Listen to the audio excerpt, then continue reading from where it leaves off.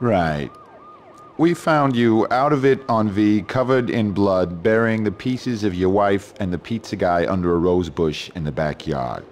There's a bloody chainsaw in the bathtub, and by the looks of it, they had been shot in your bed. The murder weapons have your prints all over them, and you say you didn't do it. Hell no! I'm a fool guy! I've been framed! It's a setup! I was getting too close to the truth, so they had to get rid of me. This should be good. Your wife and the pizza delivery guy had to get rid of you? No, no, no, no, no. Yeah, yeah, they, they were gonna whack me. Motherfuckers, they, they, they were gonna whack me, steal my money. It was self-defense. Right. Your wife and the pizza guy were trespassing in your bed and you killed them. No, I didn't kill anyone. It's a frame-up. Weren't you listening? Okay, now I get it. Your wife and the pizza guy deviously conspired to set you up.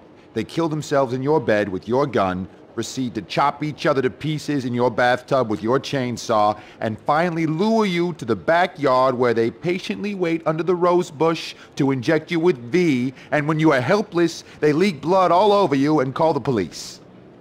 Anything to add? See, that's just it. I wish it was that easy. A- And I know this sounds crazy, but they weren't in on it alone. It's much bigger than that. Basically, anyone who does home delivery is in on it. The mailman. And that means that the government is involved. The mailman told me all about it. So all we have to do is to get in touch with this mailman and we get the proof. See, that's not gonna work. He's dead. The mailman's dead. I'm sure the DA would go easy on you if you just come clean right now and told where you buried his body. I suppose it's not under the same rose bush. See what I mean?